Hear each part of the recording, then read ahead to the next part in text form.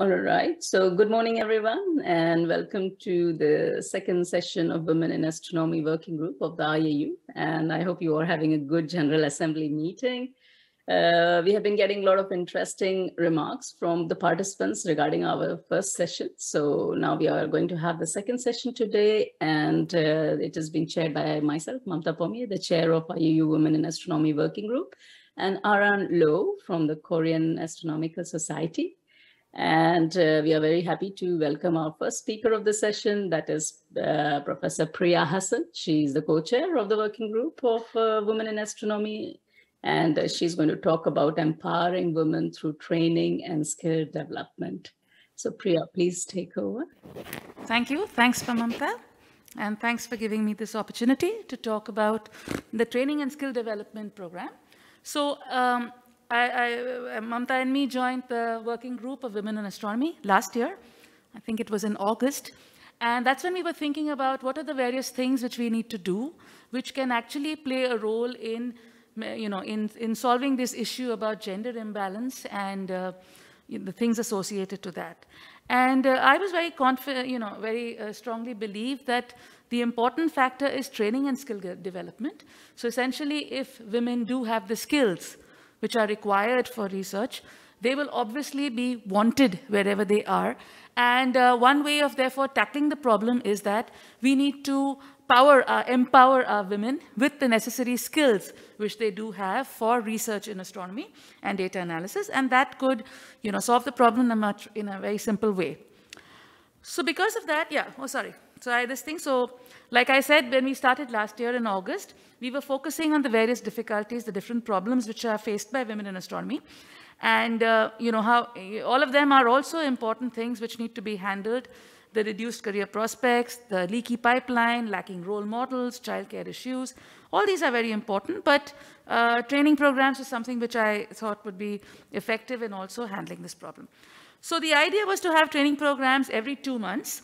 And we also decided that these programs would be open to all, men and women, in the sense because one of the, the, the, the idea of having the group is that we do not want any kind of discrimination between men and women, right? We want that, you know, the gap to not exist. And therefore, we thought that the training program should be open for everyone, men and women. Let everybody learn the skills. And uh, in that way, we, you know, we can, it, it could be a fair deal. So this is the first training program which we organized in November. And this was, all these were called TPs. And the, the first TP was the essential skills for astronomy research. And they were conducted by me along with SN Hasan. And uh, we did it, this was a five-day program. So you can see it's a five-day program with two hours per day, which covered topics like Python, Matplotlib, AstroPy, Overleaf, the basic initial skills which are required for research. And what we did is we um, step by step showed them the process in the sense more with hands-on sessions using Jupyter notebooks. They actually could run commands, run codes. They could plot things with uh, Matplotlib as well as Seaborn and, uh, you know, actually do practice sessions along with the assignments.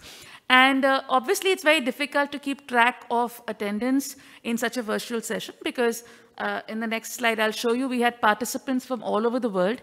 So it would be very possible that participants may log in at a time, you know, which suits them because everything was recorded and available. So to keep track of the performance of students or participants, we decided that uh, the certificates would be given based on completion of assignments. So participants are free to attend whatever suits them at whatever time they want. The only thing is we need in terms of feedback from them is to see the assignments they did. And based on that, we gave them certificates. So, um, oh yeah, it's, it's described more in detail. So like I mentioned, you had five days, two hours a day. And uh, each session initially started with a short 30-minute talk, basically explaining what was the importance of the thing we were supposed to be doing. And then one and a half hours for practice hands-on sessions and uh, with the tutorial problems, etc. So we also had a Slack channel, which is still running, which is to interact uh, for interaction between participants of all our training programs. So what we did on the first day was introduction to Python, Jupyter Notebooks. Then we did more of Python. Then we did Matplotlib. And then we did ADS, Overleaf LaTeX, AstroPy. So obviously this is at a very superficial level. This is not the depth level. But the idea of this was to initiate people so that once they know how to run these things, you know, then they can go deeper into it themselves because all these things are very, very deep, uh, you know, they, they are oceans in their own right. So if you see this, this is the kind of uh, participation we had. We had about 203 registrations, and you can see it covers the almost the whole globe. So uh, we were working also with the Astronomy for Development Office, due to which you can see we had very good participation from Africa. And we had also from South America a lot of people. Uh, Europe and the US is also there. We had Southeast Asia. So the, the idea is that, yes, definitely the requirement is there. Uh, yesterday, I attended the Young Astronomer sessions, and that's also when they were talking about training programs. So everybody in principle wants training programs, which we actually saw from our results. Uh, so all our training programs are available on our uh, website, which you can see over here, uh, sorry, on, on the website as well as the YouTube channel. We have both. And you can actually see the stuff which is available over there. It's freely available. So the feedback, we, we try to keep track of what was the feedback for the thing. So most students were obviously very happy about it. You'd think that I'm showing you a biased thing, but in principle, we didn't have any complaints. Maximum complaints was, you know, there should have been more sessions or it should have been deeper. But essentially, people were happy with the training programs, and uh, we had a very good feedback from that. So assignments, we gave people two weeks to complete the assignments. They could uh, interact with each other using the Slack channel. And we also gave a prize for the best partici participant, the one who gave up maximum assignments. So obviously, uh, there were five assignments for all the days. And we kept, I, I, I think we kept a thing of if you'd done three out of five, we gave people certificates. But then there were some who actually did everything, and uh, we had a prize winner. Actually, I should have had a picture of us. Okay. So we gave them uh, certificates of this kind for completing the training program, and um, uh, which you can see over here. So the trainers are mentioned over here. You can see Priya Hasan, SN Hasan as the trainers and uh, coordinators of the program. So after this, this was in November. So as per our schedule, two months, we had the next training program in January. And in January, we actually did it on, we had some more participants. So we had, um, we had Santiago, who's going to speak after me. He spoke about the sun on uh, exploring solar uh, images with visualization software. And then we had another session. So, so Santiago did two sessions on the 10th and 12th. On the 11th, we had a session by Ariana, who spoke about Twitter for scientists and how social media can be used effectively. And uh, on the 13th and 14th day, I uh, added in with my session on TopCat. TopCat is a virtual observatory tool which can be used to, uh, uh, you know, to analyze tabular data. So one day was about TopCat, and then we actually took up uh, its application to select science cases to basically show this to students. So again, this was the same theme, five days, two hours every day, tutorials, assignments, and certificates based on the number of completed uh, assignments. So uh, this is again the same thing repeated. This was the schedule. Solar for two days, Twitter, and TopCat for two days. Okay, so then to stick to the schedule, we had a slight gap between January because we were basically busy in February, March with women in, you know, it was the women's months, uh, February and March, so we had a lot of other activities which we were conducting because of that. So then we had, with a slight gap, we continued in April. In April, we had the third um, training program, which was uh, basically uh, done by me on um, what we actually did is we took science cases. We took specific science cases and showed students how could you use virtual observatory tools as well as Jupyter notebooks to analyze these specific science cases. So the science cases range from, you can see on the first day we did exoplanets. The second day we did photometry using SDSS data. Third, 13th April was on color magnitude diagrams with SDSS as well as Gaia. 14th was on dark matter. Uh, and uh, 15th was on AGN, so using SDSS spectra. So what we did is we actually thought, you know, showed them how would you actually do science cases using virtual observatory tools, as well as introduce them to how they could do this with Jupyter notebooks. So we had students who submitted their assignments either with TopCat or with, uh, you know, with TopCat or with Aladin, you know, the virtual observatory tools, as well as with Jupyter notebooks right? So they were given the freedom to do it in either way which they wanted? So, uh, so like, uh, sorry, this is another detailed description about this thing where it was astronomy data to science. This was the, the plan of the, the third training program. yeah. So uh, that's my, this is my final slide. So essentially, we, we uh, this has been progressing very well. People have been very happy with the training programs that we've been doing. But uh, what's my wish list? The wish list is obviously we want more mentors to provide training programs because there's a limited amount of knowledge I have and the areas I can handle. Uh, we would obviously like uh, training programs which cover different wavelengths and different kinds of data so that uh, students, you know, at least have a starting point with which they can start off with their research. Uh, so uh, we, I would, I, so my, I would urge uh, people listening to this is that if you could offer training programs of any format which you would like, this could even be younger students. For example, if you've worked on a PhD thesis, you could speak about the kind of analysis you did for the thesis. at whatever levels, if you could contribute by doing training programs, uh, then I uh, hope that we, you know, build up a, a good repository of, um, you know, of, uh, you know, material which will act as very good starting points for students to actually start off in, you know, whatever uh, areas they'd want. Because I personally also, as a researcher, I know that when you start off with your PhD and you're handling uh, software and data analysis tools on your own, it's very difficult to do it. So if, if somebody could start you off you know, you can obviously then move on your own well. So that's what I would, uh, I would urge the community for active participation in this kind of program. Uh, so please, I would encourage people to get in touch with us if you would like to give any kind of training programs and any of these things, as well as any suggestions which you think which would help us in doing this in a more effective way. Thank you. Yeah. Yeah, thank you very much, Priya. Do we have any questions from the audience?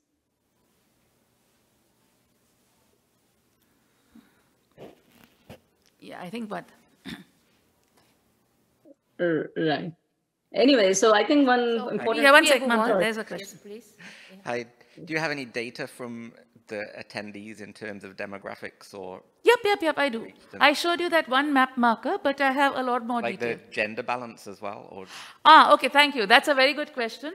Uh, like I said, we kept it open for men and women, and by the time we were to training program three, we had more men than women, which was obviously a little upsetting because the purpose of the whole thing was for women, and then the whole effort I mean, there's nothing against men. It's very good if men are there.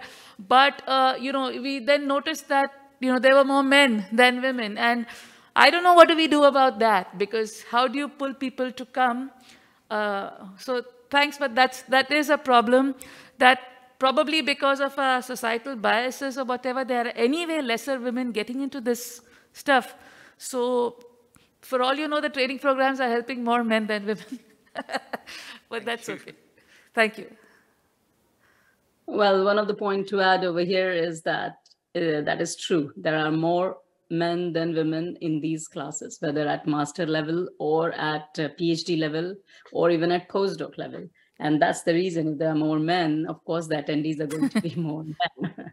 so we did encourage. And again, that second point that one has to remember is also that women, they, even if they are young girls, they still participate into child caring and parental caring and caretaking activities at home. So because these sessions were recorded, they were also following them in the recorded version rather than being available at that particular hour. Yeah. That's another reason. Yes, I think Najam wants to ask yeah. a question. So, yeah, so that's right. Actually, we don't know the demographics of the online attendees. The ones I know is the ones who registered for the program, but or who were there on Zoom. But online, maybe, like Mamta mentioned, maybe at, uh, you know, this, there could be, yeah. Uh, we observe that in India, there are a lot of girls in biological sciences and very few in mathematical and physical sciences. And probably that's the reason why even it should be the same all around. And uh, I think it's necessary to work at a grassroots level, right at the school level, encourage girls to take up a career in mathematics, physics, astrophysics, and so on. So you'll have to start working even at a very low mm. level. Yeah, that, that's true. Yeah, thanks. But uh, the thing is that since there is an IAU office on outreach and education, so, you know, to avoid stepping on each other's toes, we, we kind of uh, are not working exactly in outreach because there is an outreach office. So, you know, we, we, though we have, the, the, for example, the women, uh, the women events which we had in March as well as in February, right, for the Women's Month and all that, that was done in collaboration with, uh, you know, girls and women in astronomy as well as the outreach group. But um, yeah, we, we, we, don't exactly have an outreach program for women specifically because there are already existing bodies who are doing that. But yeah, that, that is probably, that's the only way this problem can be solved. yeah, IAU has uh, astronomy for education, so they do have some training program for teacher and more younger students. That's right, that's right. Yeah. That's right, yeah. Thank you. Uh, there, there is also another point, as as uh, Nacham has mentioned, uh, there are more girls in biological science than in physics or in mathematics classes. It's even true in France, in universities in France, it's the same situation where I teach. And uh, I have also noticed that uh, parents who, in, in families where mothers are actually in academic fields, and especially in higher academics, not at uh, school teaching level, they are the ones who are serving as role models for their daughters also to take up higher academic careers. So it's not just about working in school levels, it's also about the society and where women are being seen as have, holding jobs. This is where their daughters are also thinking that they have possibilities of having jobs there. So I think it's also very important to appoint women at higher academic levels while working at the grassroots level because you need role models at every career stage in this whole academic uh, uh, career profile. And this is what is lacking. This is where we have to work together. Yeah. Thank you, Priya. Okay, so we uh, don't have any yeah, further questions. Uh, there's no more questions here.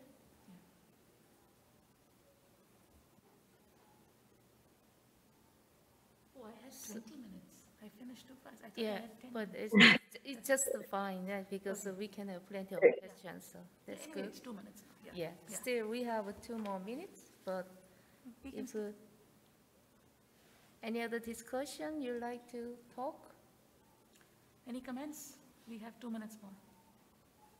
Any comments from anybody in the audience? Um, What do you think could, would be a good thing to do? Uh, I think we can proce- proceed. I- Okay, so if, it- oh, you want? Yeah, I guess yeah, so. please. we have one more question. We're really looking for feedback from Please, people. yes, please. Uh, Because no one else is speaking up, I will uh, just add a little comment. When I first, uh, I came from the field of peace and conflict studies. It was quite some time ago that I was in that, and I realized we needed astronomy and we needed more women in astronomy as a perspective for achieving the goal of right human relations. And so I'm just wondering the first conference that I went to in cosmology, I studied in Australia actually. And the first conference, there were three women, all of us trying to look professional, and, uh, and many men. And uh, now in Australia, I think they can't get uh, a grant to do an astronomy conference unless they have childcare included in the proposal. So we've come a very, very long way. And I know what my ideas were about the need for women in the sky and uh, as a bridge to uh, our greater reality. But I'm just wondering, what do you really think is the, the benefit for society of having women in our field and more women in our field? Thanks. So, I mean, if women are excluded, you are basically excluding 50% of the population, right? So all the input you could get from people, you're actually halving it. So that is the first most important thing.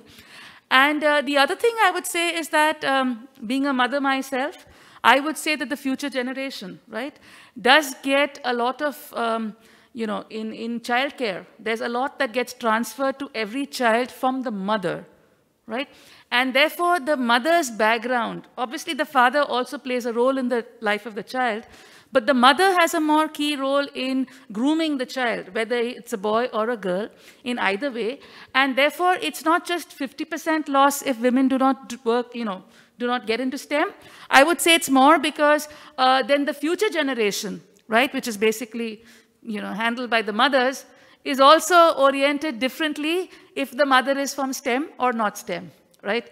So but I'm just wondering about there's STEM and it's important to have women in science. But why do you think?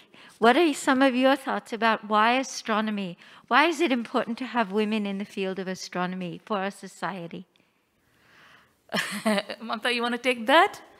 Yes, I can take that. Yes. So, well, to start with, uh, if you have looked at the statistics which we have already published on the IAU website, uh, Women in Astronomy website, you will see that there are only 20% women on an average, 20, 21% all over the world who are active in astronomy.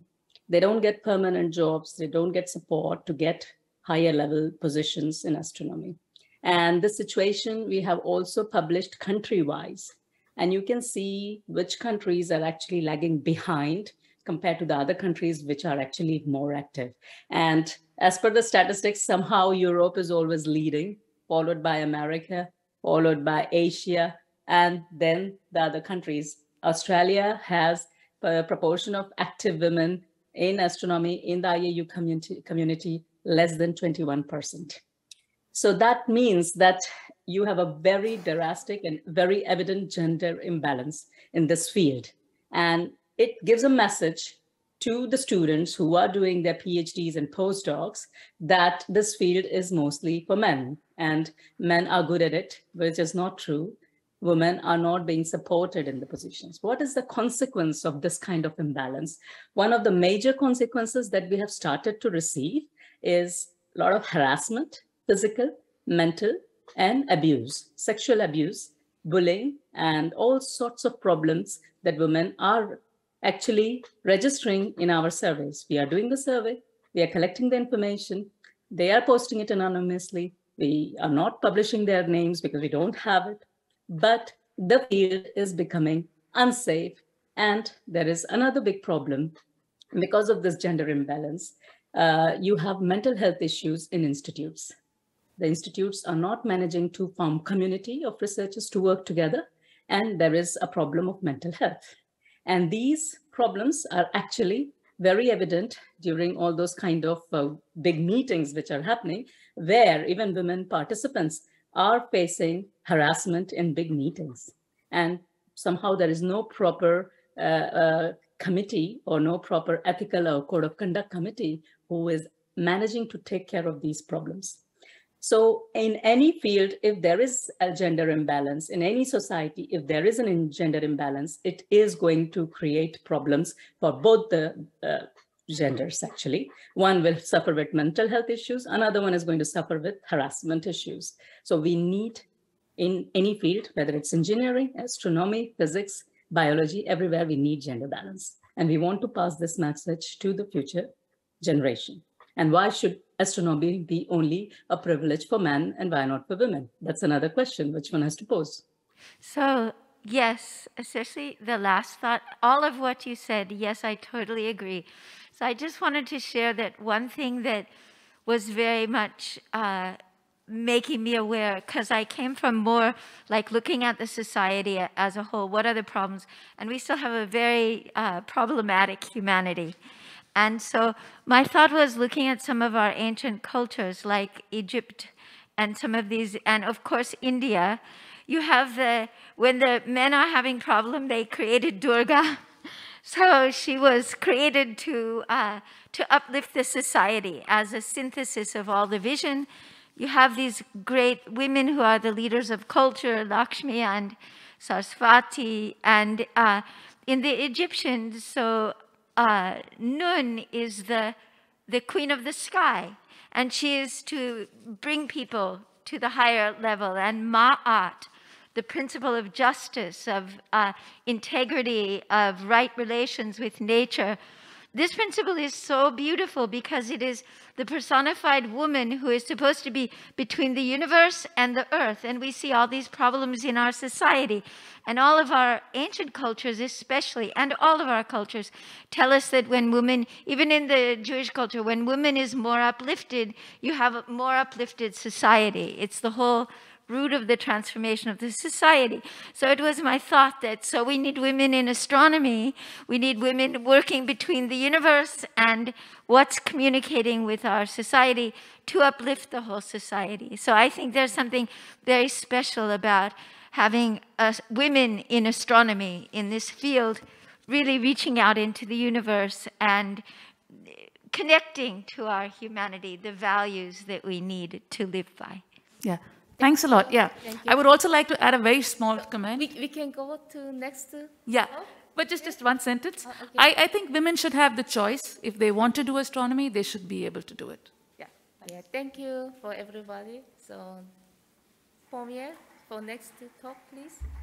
Yes. Okay. So thank you very much. And uh, I think uh, we had a very nice comment. So I would like to discuss more with the the lady uh, who has just uh, given her comments. So we- will come back to it during the discussion session.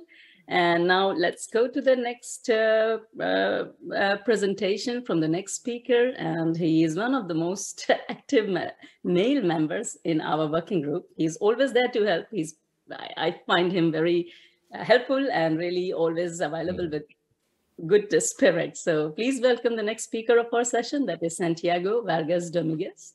He's from the University of Colombia, and he is going to tell us how does gender equality benefit men.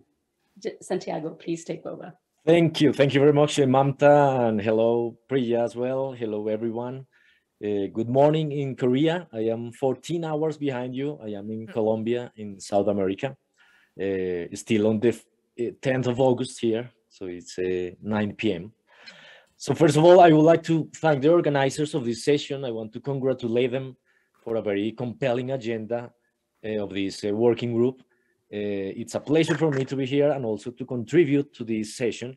And today I will be speaking about an important issue intended to answer this question. How does gender equality benefit men?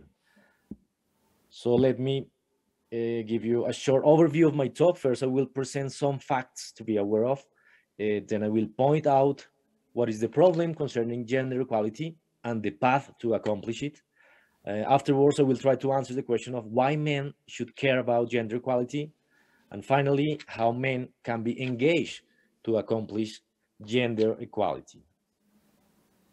So in different talks, uh, many speakers have already shown some important statistics uh, concerning, for example, the identification of the gender imbalance, uh, for example, in research. Uh, but let me just show this recent article published uh, in the journal Nature a few months ago, in which they present some evidences of gender imbalance and the difficulties faced by women in research. For example, talking about prices, uh, the women's share of international prizes rewarding research excellence is increasing, but still lags behind the proportion or of, of the professional positions held by, by women. This was actually revealed according to an analysis of 141 top science prizes awarded over the past two decades. And the results show that the number of awards honoring female scientists has increased in the last uh, 20 years, but women remain underrepresented in their career defining prizes, uh, which are often peer nominated and uh, decided on by previous uh, recipients. But when women receive the deserved prizes, they receive less money and, and prestige compared to men, uh, an average of or 64 cents for every dollar received by men. So this plot shows the, the inequality trend. And this is the reference where you can actually get uh, more information on this study. So the point is that women are not receiving fewer awards because of the quality or the quantity of their research, but instead it appears to be the result of implicit bias, coupled with a lack of pro proactive efforts from um, to, to, to address inequalities uh, or inequities in science. All the evidence is revealing that the, there is a clear gender inequality, but what's the problem with that? Well, these points summarize some of the problems. For example, gender inequalities are everywhere. They are built into the system and structures of our workplaces, especially at the highest levels, and they are reinforced, uh, sorry, and they reinforce a system that undervalues women and other underrepresented groups, and this is reflected in everyday sexism. So sexism, in turn, is present in daily actions where we, for example, evaluate women less positively than men, or we ignore and talk uh, over women, uh, sideline women in social and work networks, or express seemingly harmless comments about women, or, for example, choose women for stereotypical assignments, uh, among other issues that we are experiencing nowadays. So although we are moving in the right direction, uh, the road towards gender equality is still being paved.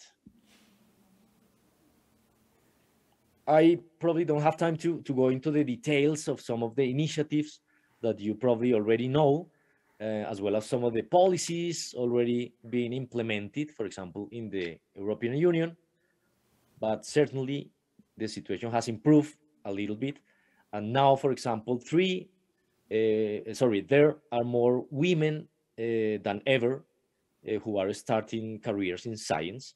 Uh, the gender gap has reduced in that sense uh, in the last 15 years, as can be shown in this graph.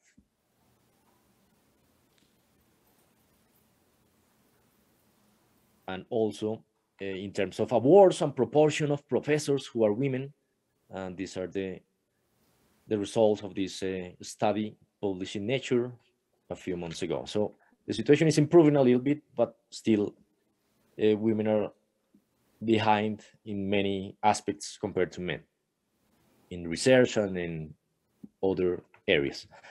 Okay, but now in the second part of my talk, I will focus on the way to engage men in gender equality and why we have to involve men, actually.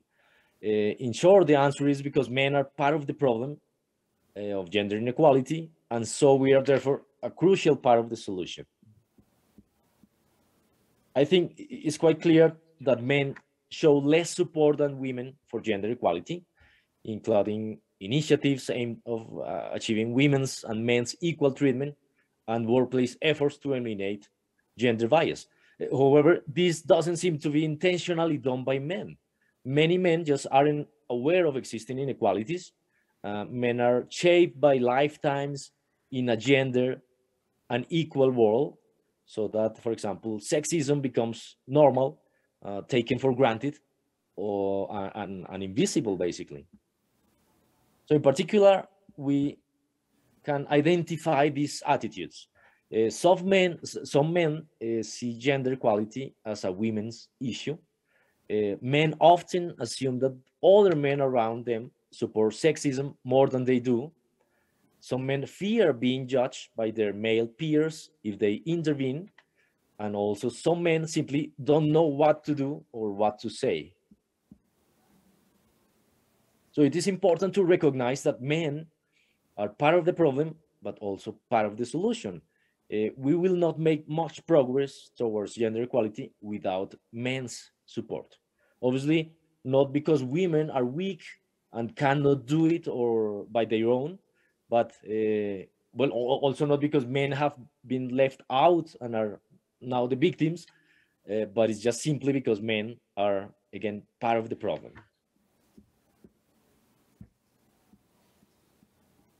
Um, how how men think, uh, behave, and how they relate to women and to other men all these play an important part of keeping gender inequalities alive. Men's attitudes and behaviors may support uh, the sexist status quo, and they have a vital role to play in uh, building a world of gender equality. And many already are doing a lot of efforts. uh, but still there are uh, many things to do and basically many things men can do. But uh, we have to be careful because uh, these are some points I want to stress. For example, engaging men is not a magical bullet for gender equality. Um, avoid putting men on a pedestal for being actively engaged in gender equality. That's something that uh, typ typically can also happen.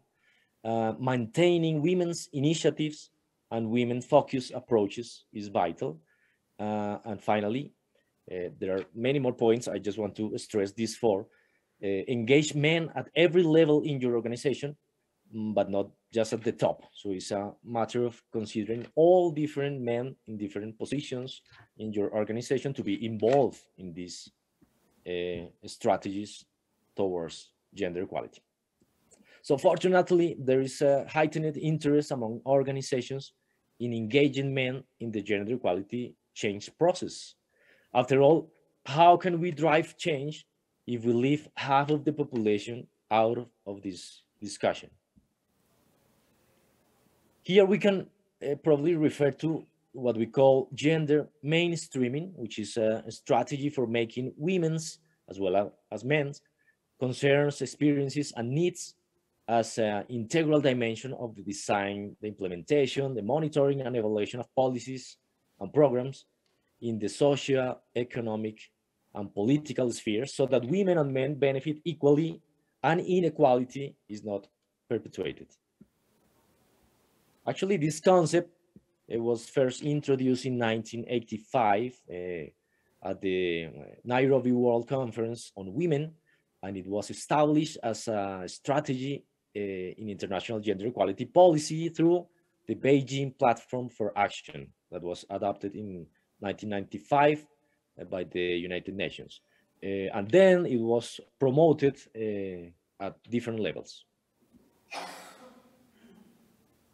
So supporting gender equality requires more men uh, allies, but evidence suggests that men do not know how to support gender equality. And in some cases, for example, through the pandemic, uh, that we experienced recently, most women wanted men to help them to address gender inequalities issues, but less than 50% of men indicated being ready to help. This is according to uh, uh, some survey that was uh, recently made, uh, I think it was uh, at the end of last year. So basically, they don't know how to help. But definitely, definitely we can make a difference to gender equality as men here are here are some tips. I probably don't have time to go to every single one, but actually, um, well, you will have these uh, slides so that you can, uh, by your own, go deeper into every one of these.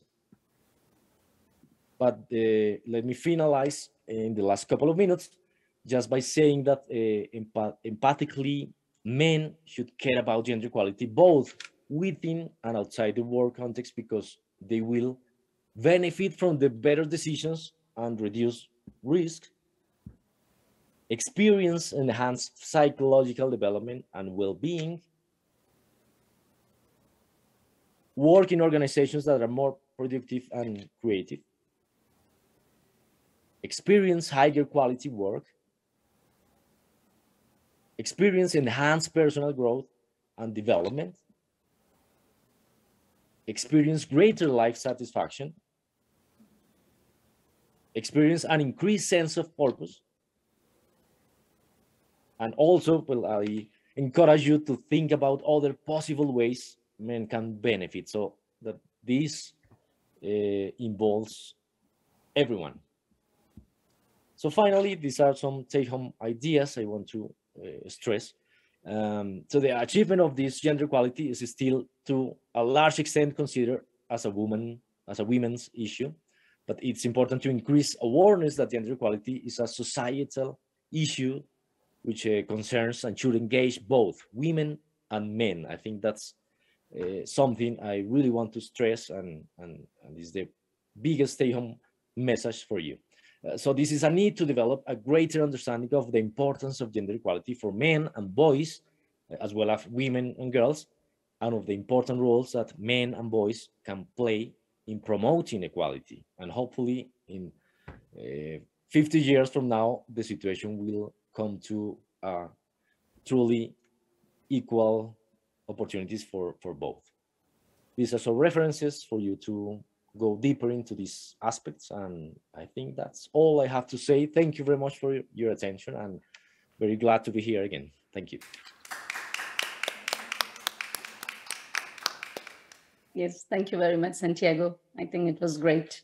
As always, I think you put forward the idea of men's participation very accurately. And uh, I think we need to work a bit more on this aspect uh, about how men can be helped to participate in, in bringing the gender balance at workplace.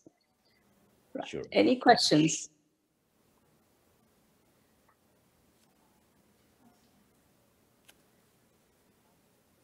Do you have questions for Santiago? So sometimes this this topic generates uh, some debate uh, because obviously there are some groups only uh, specifically for uh, women to be involved, and sometimes it's like, well, why do we have to involve also men into our discussions, our ideas, our uh, projection? But I think this is something that actually can help to improve and to move forward towards our objectives. It is true. You have pointed it out correctly. We had a discussion about it in the French Astronomical Society meeting, the yearly meeting at one point. And uh, there were some women astronomers who said, why do we need men in these kind of discussion? It's problems of that women are facing and it has to be solved by women leadership. It is true. But uh, I think by without creating awareness or training or putting forward the ideas uh, or problems that they are facing in front of all these uh, other gender, they won't manage to convey the message correctly. So you need to involve men equally in gender balance uh, discussions, issues, and problem solving as much as we need women. So we need both. I agree with you. Yes, that's that's the message. Yeah. Right. Any questions?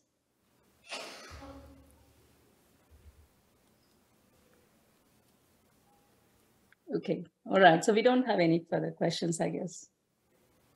Okay, thank you very much. And I, I will be here for the next uh, talks. Thanks. Thanks. Okay. So I see the chair's mic is off. Could you please switch on your mic? We can't hear you.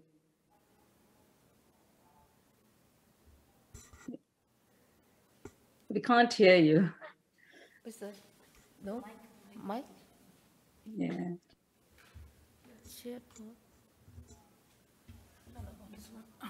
Okay. Oh, can you see my slide?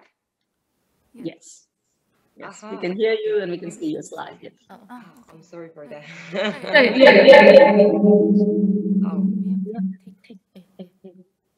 So I will start my presentations. And hello everyone, I'm Suhyun Shin from Seoul National University. And first, I thank the um, Women in Astronomy session organizers for giving me the chance to present the current state of young women astronomers in South Korea.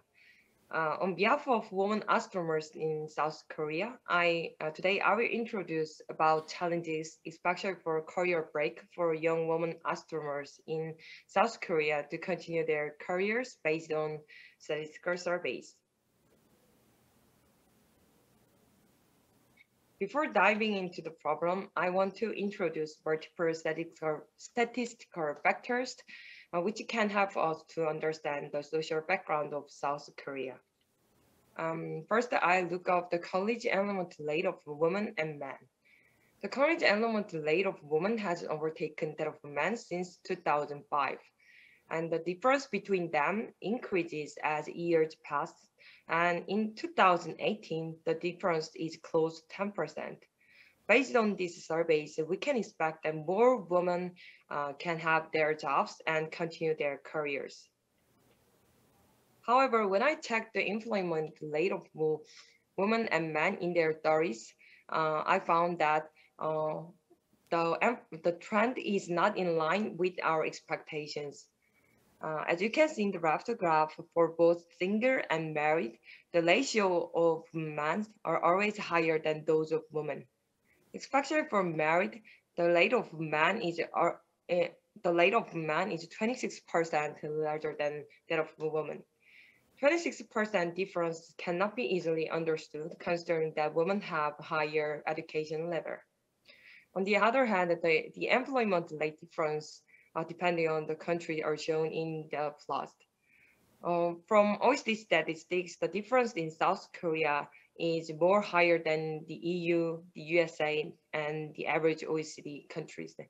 This means that a woman on a career break in South Korea is more serious problem compared to other uh, countries.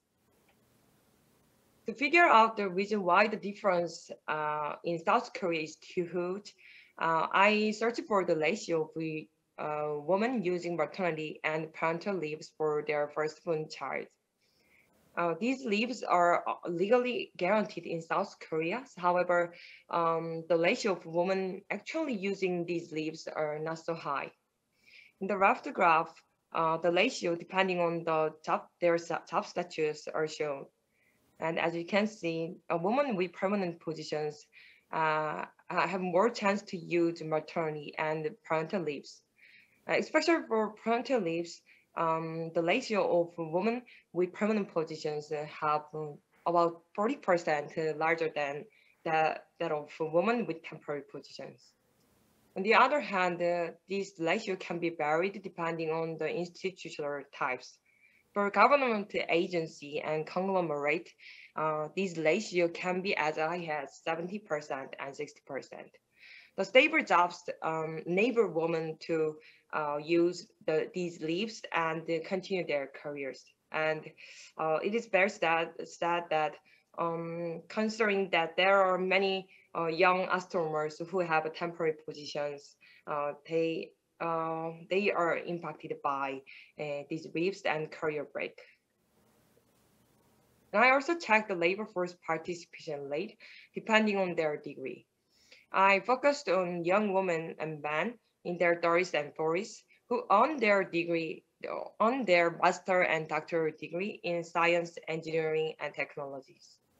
The difference of labor force participation rate between them are 40 from 42 or 25%.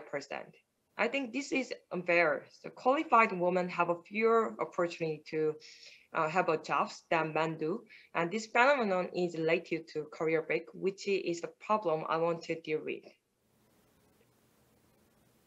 To understand the low labor force participation, participation rate of women with degrees, I searched for the ratio of married women in career break after receiving their degrees in graduate schools. And as we expected, uh, the ratio is very high in their 30s.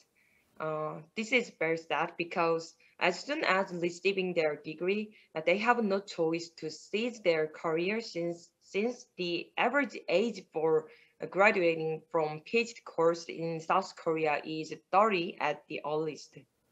It is a harsh reality for young women scientists in South Korea. And I also checked the region uh, causing career break for married women.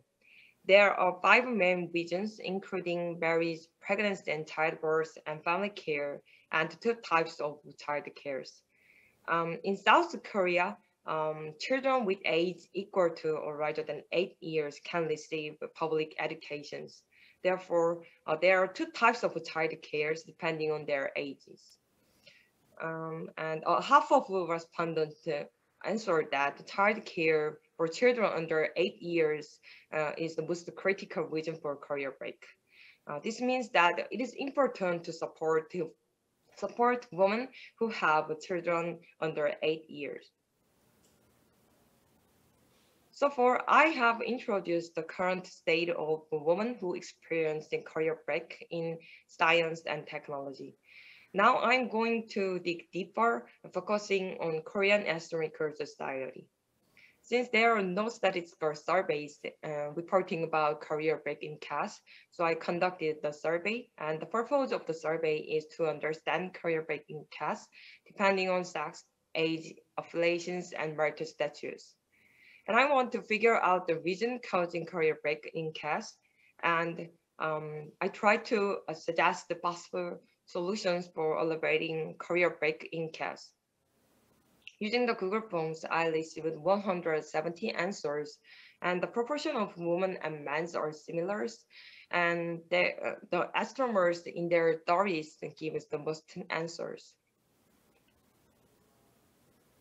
And 59% of respondents are married.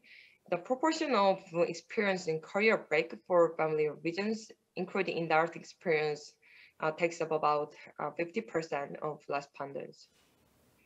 Uh, before explaining the survey wizard, I want to warn you that uh, this survey wizard could not reflect the actual opinion of young women astronomers who leave academia because the, the notice. Encouraging them to participate in the survey. Is only delivered to the present cast members. So for these reasons, I regarded the people witnessing uh, career break um, um, in the academic workplace as the people who experiencing a career break uh, to increase the sample size. First, I analyzed the uh, reasons for career break in KAS for people who have experienced or witnessing career break. And I found that the most critical reason for career break is child cares, and the second one is pregnancy and childbirth. The difference between uh, the first and second reason is only low as only low uh, only as low as three percent, um, indicating the main reasons for career break in KAS are related to giving birth to a baby or raising a children. This trend is different from that of a woman uh, with, uh, within the natural science because for them, the marriage is the second reason for career break. However, uh, for young women astronomers in KAS, the marriage is not an obstacle anymore. And one interesting point is that 14% uh, of the people uh, think of jobs as their main cause for a career break. This is interesting because uh, it is very different trend compared to other academic uh, fields in natural science. Uh, and it implies that I think um, the top in KAS is intrinsically insufficient for both men and women. And I'm curious about total period, period of career break. And uh, half of the people answered that one to three years as the total per period of career break. And um, this is uh, very sad because the research performance, which is critical to apply permanent or temporary positions, is uh, usually evaluated for a fixed five-year term. Um, thus, the career break period, period critically impact for women uh, to get the permanent positions since most institutions in South Korea cannot account for the career break period. And I think this is the reason uh, resulting in low number of women astronomers in Korean Astronomical Society. Then what happened to the people with career break in, astronomy after using childbirth and child, leave, child care leaves? Um, uh, I based on the survey, I calculate the employment of a woman with career break. And surprisingly, uh, 60 percent, over 60% have temporary positions, uh, which are classified to uh, these. And um, while 16% uh, of them uh, can be can be employed as permanent positions. And the re-employment rate in academia is about 60%, which is lower than my expectations. And what is very sad for me is over 20% of them uh, cannot be uh, cannot return to the workplace uh, despite their skills and their expertise. I think this is very critical loss for our academia and countries. Then I'm curious about the reason enabling women with career break to return to academia. Um, the reason the most people choose is that um, they fortunately found uh, proper job positions in academia. And second one is that they unfortunately um, be considerate PI. I'm very shocked that um, the luck is the most important uh, factor in getting women back into the academia. And government support policies and support from family are also important factors. However, these are not dominant factors. And suddenly personal will and capability uh, is too low. On the other hand, why are women with career break unable to return to academia? Um, break of jobs constitutes about 70% of total answers, and family issues um, consist takes up uh, about 30%. Um, these reasons are external factors, so a woman are unable to return to academia due to external factors rather than their uh, ability. In this slide, I'm going to know about uh, those of people who don't have experience or witness a career break. Um, as you can see, there are mostly 20s or uh, early 30s. They are more sensitively reacted to uh, family issues such as childcare and pregnancy and childbirth than regular jobs. This trend is very different from that of seniors who thinks the regular jobs as the main reason for career break in KAS.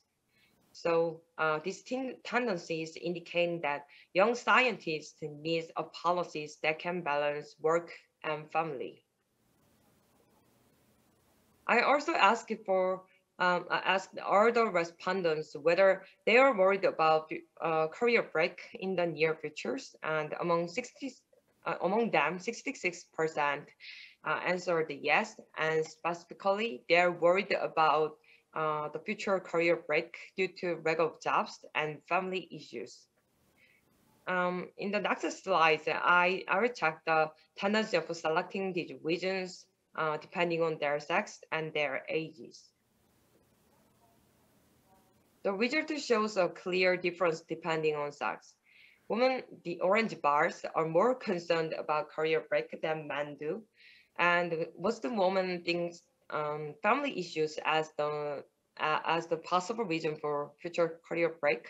However, men thinks that a lack of jobs as the main reason for future career break. Uh, the obvious difference uh, implies that traditional gender roles will or could significantly affect their academic careers. And as their age increases, the ratio of experiencing career break increases and ratio of worrying about career break decreases. Um, for um, young astronomers, um, family issue is the main cause for a career break. However, the rate uh, sharply decreases as their age decreases. And for lack of jobs, um, there is no clear trend as a function of age, and unfortunately, 30% of astronomers at all ages suffer from lack of jobs. So finally, I introduce the solutions which uh, which Korean astronomers think as the best solution for elaborating career break in KAS. Uh, the most popular answer is increasing the number of stable jobs in KAS, uh, KAS and it takes up about 35%. Uh, however, in my opinion, uh, cannot solve fundamentally. Uh, it, it is not a fundamental solution for uh, career break in KAS because uh, the most critical reason for career break are related to family issues such as childcare, childbirth, and pregnancy. So uh, to improve the situations, I think that uh, we need to we need to prepare policies um, enabling women to continue their careers and get a stable jobs. For example, considering career break period due to the um, family issues when estimating research performance and recruiting them uh, is very important. And also improving organization culture for member with career break uh, uh, is, is important. And furthermore, providing flexible term of contract and giving opportunity to take various leaves for uh, young astronomers with temporary positions such as postdoc will be helpful to continue their careers. Uh, these solutions are related to family issues and takes up about 60%. And I think uh, the Korean Astronomical Society uh, will become a favorable community for young women astronomers if they uh, take these solutions seriously. And um, I hope that uh, it will be uh, come it, it will come in the near in the near futures. And I um, hope that young women astronomers not to lose their opportunity to seek self-realization and serve as a pioneer in expanding the breadth of our knowledge about uh, cosmos, cosmos. And thank you for your attention. And I'm happy to take your questions. Okay, thank you very much. I think it was a wonderful talk. So I congratulate you for all your work you have done. And let me first introduce you because you started your talk before we could introduce you. So she is uh, Shin from Seoul National University, and she's a PhD candidate. And she has given a wonderful presentation, uh, which we don't see so much when it comes to women in astronomy sessions. So thank you. Now, my question is, uh, you did all this survey and uh, you are a young PhD student. How, and so you have kind of tried to understand the source of the problems, the current situation, and how it could be solved. Where do you see yourself in this whole statistics? What do you think would be your situation if nothing changes in the next five years? Or what would you like to do to change it? Or what do you want that people apply as policies so that your career could be saved?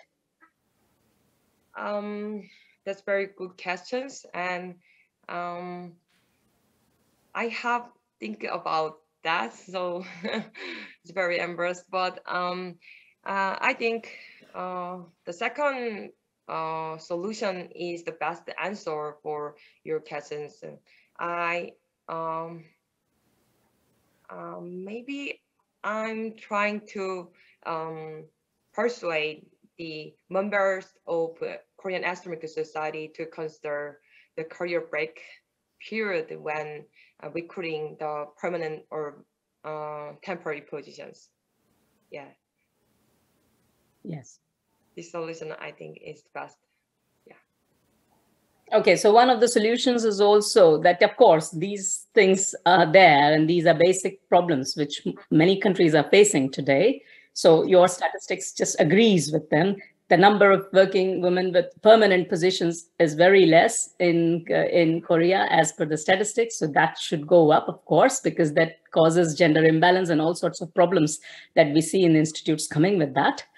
Uh, one of the solution is also uh, lying in the hands of funding agencies. If funding agencies can come up with uh, five years uh, grants, then these grants of five years help the candidate to develop their career with a stability, and then they can go on with another grant. If there are no permanent positions or if there are less reduced permanent jobs, then parallel way of having a career going on in astronomy is by having long-term grants. So that lies in the hands of funding agencies as well.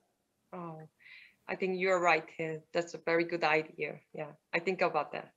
Thank so you. you should stress about it in your country to get grants for women. And so this is why I'm really advocating this women ambassador funding with the IAU. And I would like everywhere, all the people, whomsoever is listening in all their countries, they come up with this kind of grants for five years for women candidates so mm-hmm. that their proportion could be increased and the, the gender balance could be achieved in research institutes.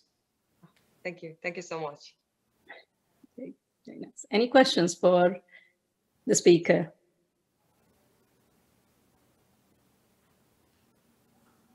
Not from here. Right. Okay, thank you very much again. Okay, thank you.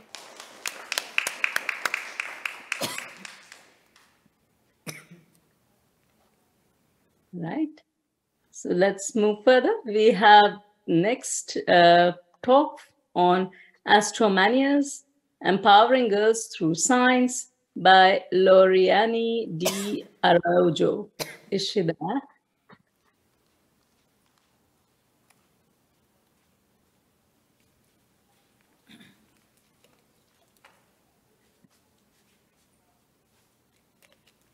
Yes, great.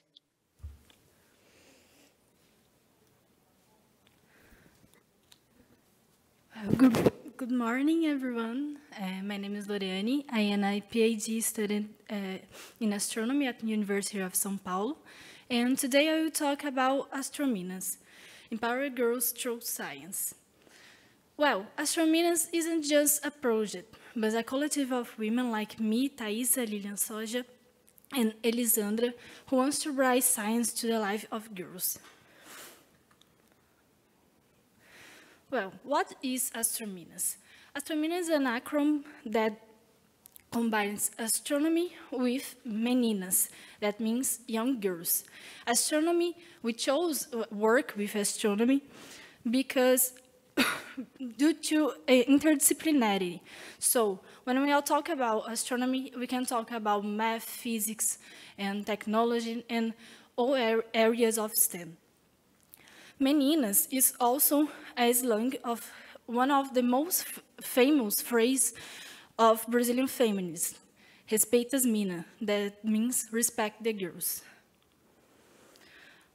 About our dream. Our dream is demystify science, especially natural and exact science, present a new perspe perspective on the life vision of young women in the search for gender equality. So what we, we have to do, if girls can play with dolls, if girls can play with toy cars, maybe, girls can play with science too. So we are present a new path in the conception of becoming a woman.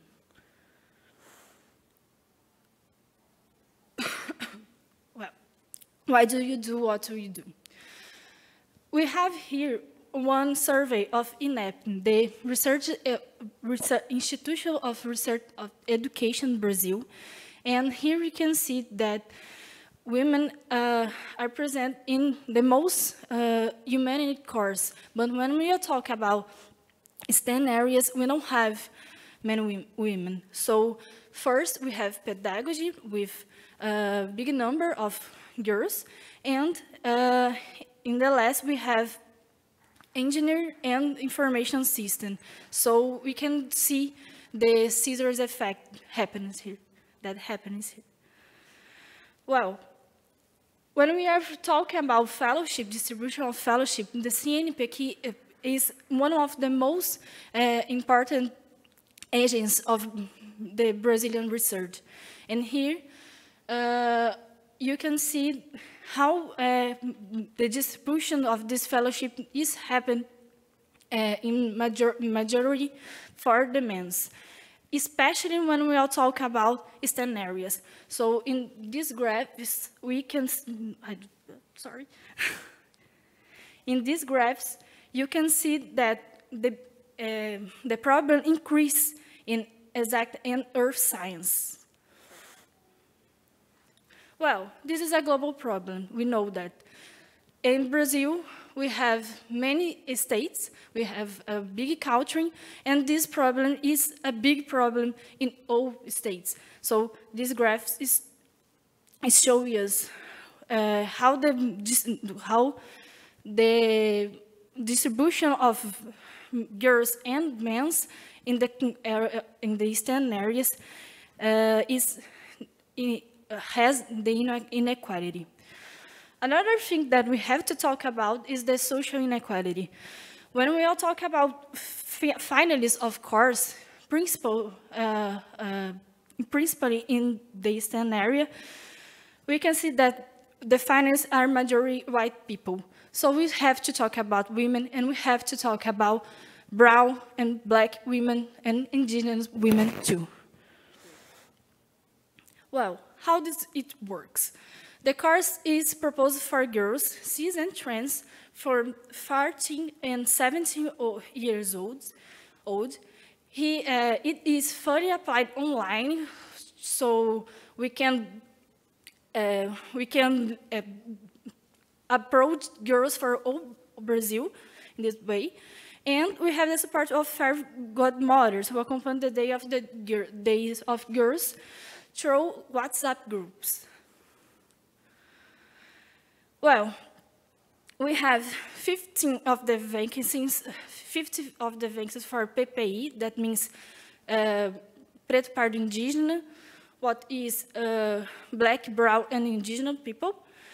uh, we have 16 for public school students and 15, uh, and we have vacancies for pri private school students too. Well, the course has had lectures by great names of Brazilian women scientists, including debates on women in a context of humanity. So we are uh, we have the grow, groundwork too, and we have the testimonials of trajectories in science from other great names.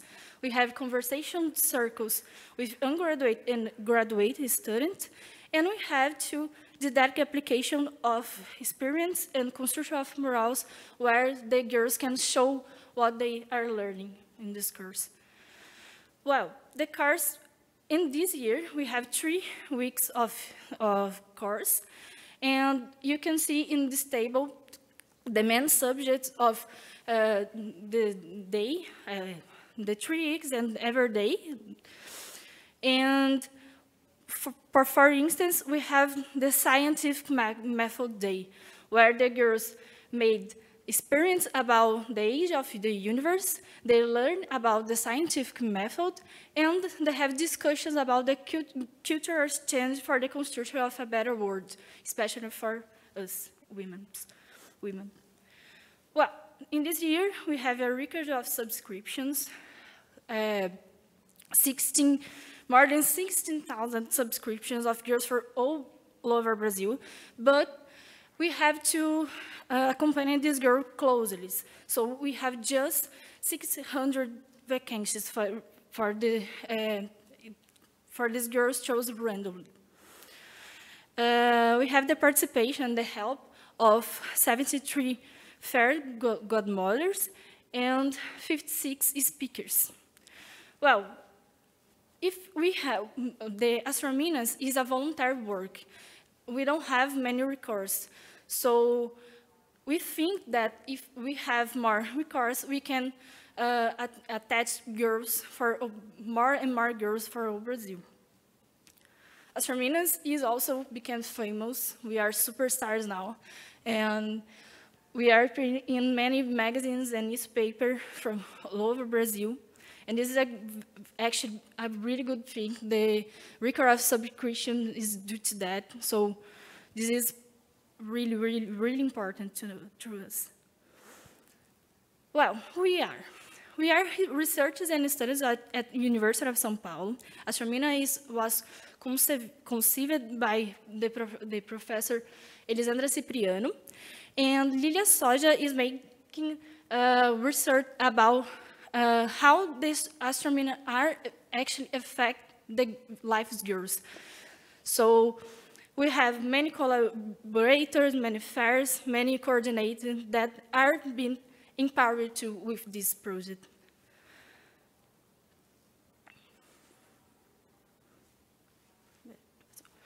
Well, that is that. That is Astrominas. Thank you for the opportunity to talk about our, our work. Uh, if you, you want to contact us, you, you can use the QR code or the social medias. And that is it. That is Astrominas. Thank you very much. Thank you very much again, Leilani. I think it was it's a very good effort that you people are doing as PhD students coming up and training younger girls. This is not very common in many countries actually and uh, you people have taken the initiative so i think that's really great so it's important that phd students also know how to help younger generation than just focusing on their data analysis or their publications so thank you for this great job thank you any comments yeah. Yeah, so thanks for a very good talk. That was a good talk. I just wanted to ask that, is there some follow-up program after that? Do you track what happens to your participants after the Sorry, I didn't understand. After the school is over, right? How do you track, uh, or do you check with your students what happened, what are they doing? Yes, with the closer component of the fairs, we always have contact with these girls.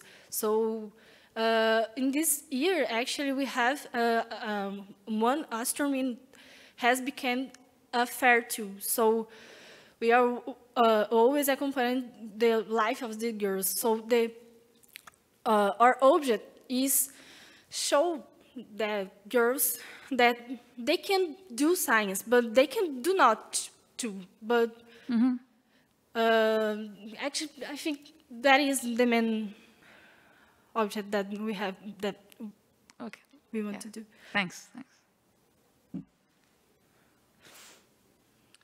Thank you for the great talk and thank you for bringing, uh, showing us about this beautiful project. I'm Brazilian as well, and I'm curious about um, the, you said that there was there were participants from all over Brazil. So do you know the percentage that comes from the northeast? Because especially the, I'm from the northeast, and I know that that is a region that still lacks a lot of science, especially women's science. So I was curious about that percentage. Well, we have girls for Brazil, uh, and actually the number of sub the subscription is bigger in this so so that so so that uh, I forgot the word. Sorry, but uh, we have the participation of the girls of Brazil. I think we we are atta attached everyone. I think it would be interesting to show some statistics of uh, the Yeah. the distribution in Brazil and also a statistic based on what she, uh, Priya said, like uh, how many girls took the science path or what are all the paths that they chose after, um, I don't know, later in their career. Okay, Thank you so much. thank you.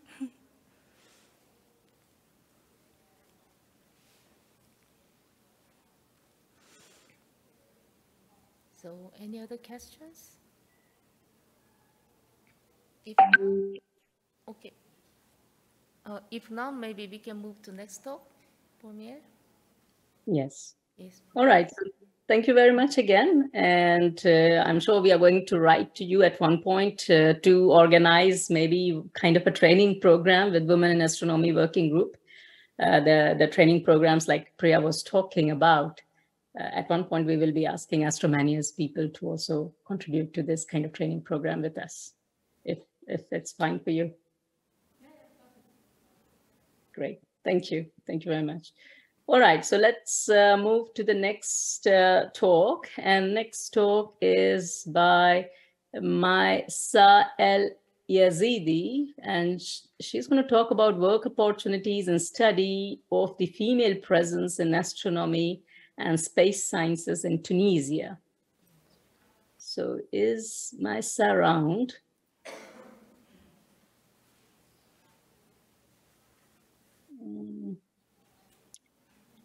Okay, I don't see her. I sent her an email, but oh yes, okay, I have some. Uh, I will not be able to make it today, still waiting. Please skip me for the next one. Okay, so I have an email from her uh, and she says, uh, I will not be able to make it today. All right, so I, I, I don't know, uh, maybe we will see what's going on. Okay, uh, so let's move to the next talk then. And um and the next speaker is uh, is actually so now from now onward it's Priya who was supposed to chair the session with Min Yong Lee. So I think Priya would like to take over from here. Uh, isn't that the afternoon section? No, Mamta, that's the session after lunch. So now we have Oh, lunch yes. break. Yeah, that's So the everybody afternoon. go Oh. lunch. So we All right. we still have 10 minutes for discussion, free discussion. I Yes. Yes, please. Yes, please. So if you, if anyone has any questions or if you have any projects to propose with Women in Astronomy Working Group, or if you would like to, uh, you know, contribute to this ensemble magazine where we are writing about any group who is doing any sort of activity to support uh, women in astronomy or girls in astronomy, then please contribute and let us know, and we will be very happy to uh, publish your work in this ensemble magazine on the IAU Women in Astronomy platform. So please do consider that. And, uh, and yeah, we are open for any kind of suggestion or comments that you have. So please go ahead.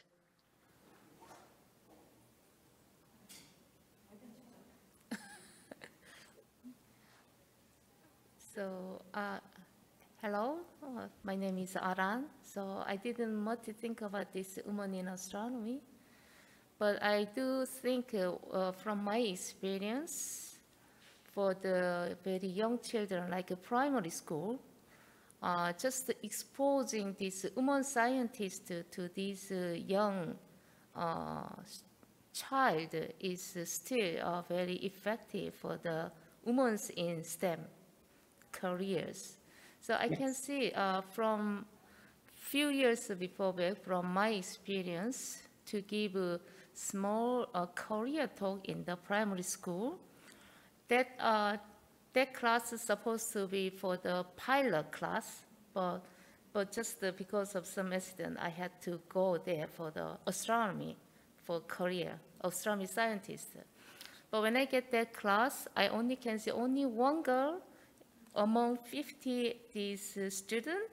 So that means only one girl, she is the only interested about being pilot. And another 49, the, the boys are interested. And there was the, something bias in, from our media and our society. I can see that. They think the woman cannot be the pilot. So that kind of thing from that uh, just one hour class, I could say, just exposing these many uh, women scientists for the young children, still we can affect a lot of things. So still we have to go long way to go, but like uh, just uh, uh, when I see this Brazilian, our colleagues, when she give talk, they expose their women scientists to the many variety places. That can be the really good steps. That is the, my small experience. Yes, I, I, think it's a very important comment. And it's if one could start to, I mean, we do have videos. We started to collect videos of women scientists and astronomers from various parts of the world in their local languages so that one could, you know, play it and one could hear it in different languages. We have it. Uh, I haven't put it on the website, but we have uh, the ones from earlier years available. So one can use those videos for promoting uh, astronomy to younger students. But uh, it is equally important to actually include the students from your country in some small half a day project. When they see themselves in this situation, this is when they will get the confidence of actually participating or choosing this field as a career because they see that they have a place here and they can contribute even at, at a very primary level. So what would be nice is exactly like Astrominas, if we could come up, or uh, like we heard in the last talk, if we could come, come up with this kind of combined, you know, a program which could be done with the Women in Astronomy Working Group of the IAU at different schools, the same program in various countries. Just a half day or two hour session where one astronomer goes to the school and explain or shows the videos and explains few information, few phenomena in astronomy or upcoming projects or telescopes or rockets, all sorts of questions that students can ask. And then uh, make a video of it and we put it on our website and then the students watch it again and then they get more motivated because they are involved into it.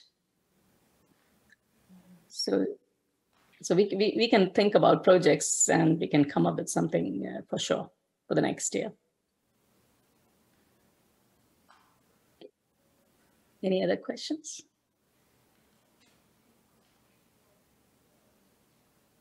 Yes, we have one. Yeah. Hi, Mamta. This is Susanna. Oh. Hi. Hey. So I had a question. Um, would you consider putting any of those videos on YouTube? Yes, of course.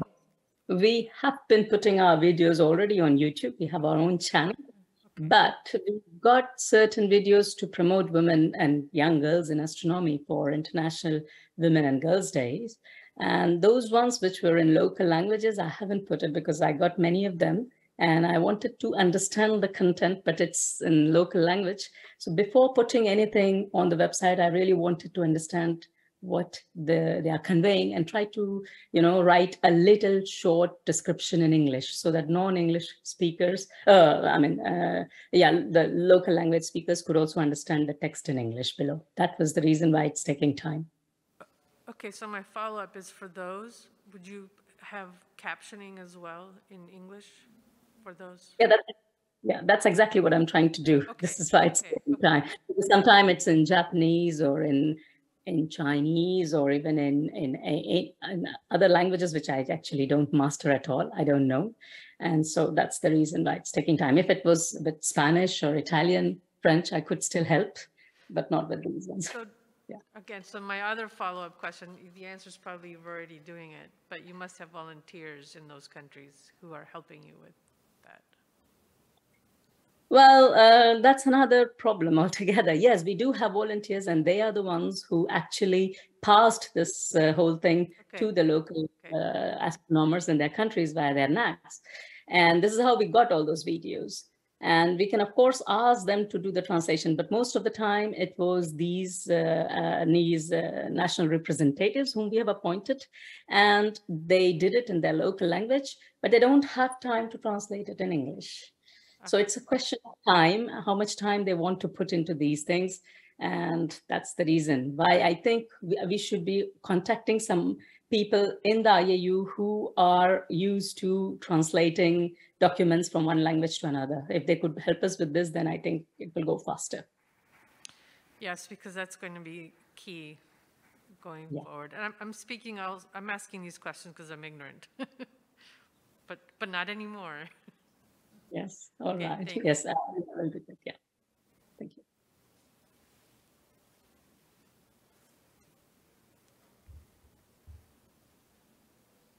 Yeah. And So I- just, sorry, yeah, sure. Sorry, sorry, just I have one question to Suhyun. So I like to know whether what can be the her strategy to keep continue her careers being astronomer. She says there is a, I can see from her statistics the marriage and child care is a big problem for the women astronomers. So for personally, I like to know, for example, so are you going to postpone your marriage or giving birth things, or uh, you are going to look for some another way to continue your careers? What can it be? Oh, that's very good question. And um, actually, I'm pregnant now, and I just depended, and so and I'm going to go to the industry to keep my career on. Yeah, this very sad truth, but Ah. that's my yeah, that's my best option, I think. Oh, already directly impact you, your career. Yeah, yeah, right. Oh, that's so pity. So, so like uh, Pommier just suggested, maybe we might ask our fund agency to have a building, some sort of a fund to, for the specific for women who are married or who has childcare, like things. The last time I remember for the, our lunch time, for women lunch time, many people, many women, they have a, a problem when they have a child. So Yes. in the, some of the funding agency, there is a click box, whether you have a, a younger than three years old children or not. Some sort of a, uh, they they should consider the mm-hmm. fund agency for these women because they know reality. We can't really change all the this social system for the this caring these children. So, uh, do you think they can help? to ask our Yeah. funding agency, like uh, there is click box for the who has uh, uh, younger than three years old children or eight years old children. You say the eight years is the the critical voice, uh, right? Right, right, yeah. So, So I think your suggestion is uh, will be very helpful for uh, young women astronomers as well as young men astronomers. Yeah. so whenever we have a chance, we might ask the, our funding agency. We need the kind of click box, you know, uh, the woman scientist who has younger than eight years old children should click and some of the benefit, right? Right, right, right. Yeah. Okay, thank you. Thank you so much. Pommier, Uh, I can't hear. Oh, okay, thank you. Sorry, yeah. So with the European Research Council uh, fundings, application, actually, we can really mark if we have students and if, uh, sorry, children. And if we have children, then uh, there is some kind of uh, relaxation in the, in the age limit for which you can apply for the funding. And then like if you have one child, it's 1.8 uh, one and a half years actually uh, con- concession in the age limit for which you can apply. So like if you if you apply for a typical funding where you should be PhD plus five years in experience, then if you have children, one or two, depending upon that, you will be given a relaxation of 1.5 or three years or more. So that kind of thing helps. But uh, uh, at 1.5 years age, a child is not independent or autonomous. The mothers are still taking care of them and actually, until the age of five, the children are going to schools, but the mothers, they get phone calls from the schools to come and collect the child as soon as the child is not feeling well. So you have actually a five years of, uh, uh, of not full-time availability for your work. You have to spend time with the children who are really small and they need your care. And it's important for the society to have children and young generation. Otherwise, you just break the whole society in the case of uh, the chase of career run. Mm-hmm. So one of the right solution is to have equal paternity and maternity leave. There is no reason why the whole burden should be all put on only on the women and it shouldn't be shared by men. And it's equally important for the binding, the family binding and the father and children relationship and and the whole society, I think. So that's one thing which one has to take into consideration. But having this uh, this uh, tick box, as you say, in this application, uh, which one should try to propose to the funding agencies in your countries and institutions, uh, having children, but also having a relaxation of at least two years, if not, uh, you know, four months. Before it used to be four months or so.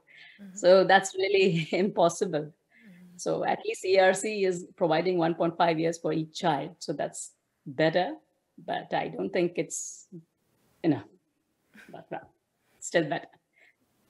Yeah. Many things we have to solve. okay. Yes.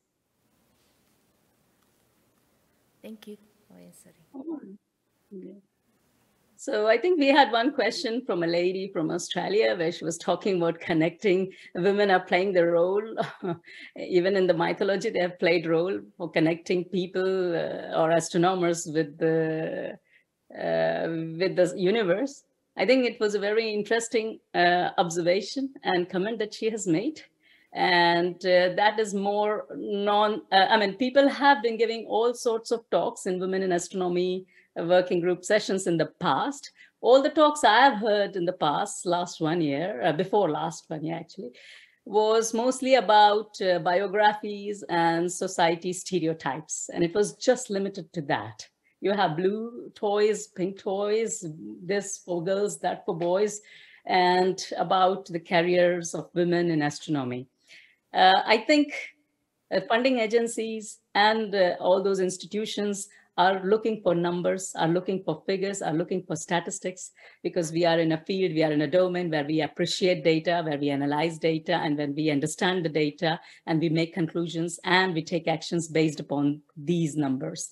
So this is exactly what I would like to bring up with in the, the next two, three years of, of my position as chair, is to bring up these statistics from all over the world for as many countries as possible.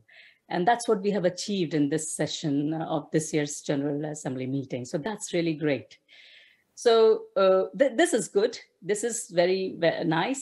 But at the same time, not forgetting the, the, the cultural aspect of having women at higher academic positions is equally important for cultural education and for respecting the values of different countries and different cultures and for existing in, in, in uh, I would say, in harmony with the diversity and appreciating the diversity in different cultures. And that's one way of binding with people from different countries because we are a very big organization and we are dealing with women from different parts of the world who are having different cultures and who appreciate different aspects in, in culture. Some people find career very important, some find family important. And some prefer more boys, some prefer more girls. There are all sorts of uh, uh, biases with that are there. So having the cultural aspect from different countries is equally important because it shows you how it influences the society. And it also shows you, these statistics are equally showing you how these cultural aspects are actually either bringing up the society today or demeaning or bringing down the, the, the, the productivity of women in the society. So I, I would like to have both, you know, so that we have complete information. Yeah, that's, that's what I would like to say. Okay, thank you. Any more questions? If not, maybe we can close this session. Pommier is okay? Yes, yes. Thank you and Okay. see you later. Yeah, see you. Yeah, thank you, everybody. Bye-bye. Thank you.